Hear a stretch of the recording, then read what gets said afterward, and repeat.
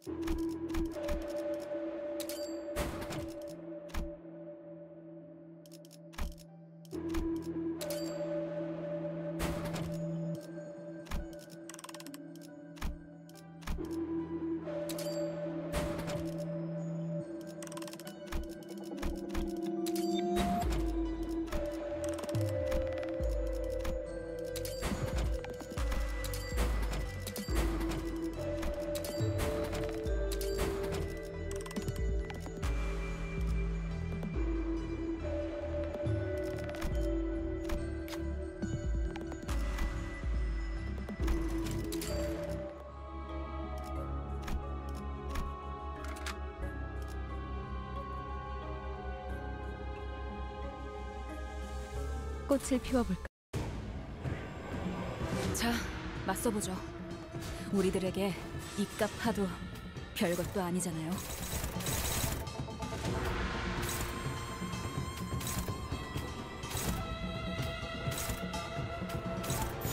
무대.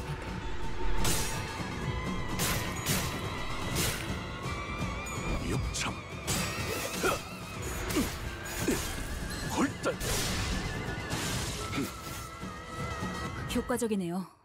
이 방식을 기억하는 게 좋겠어. 승부수가 먹혀들었군 판세는 완벽히 우리에게 있었다 정착지를 찾을 때까지 이 기세를 잃지 않기를